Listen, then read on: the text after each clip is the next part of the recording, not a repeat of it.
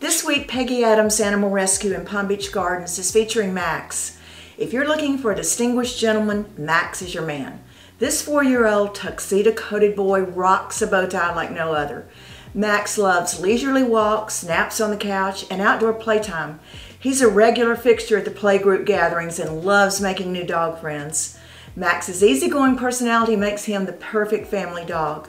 So stop by Peggy Adams today and meet Max and all of his doggy friends. I'm Judy Ballard with Illustrated Properties and I love not only helping homeless dogs find their new home, but their humans as well.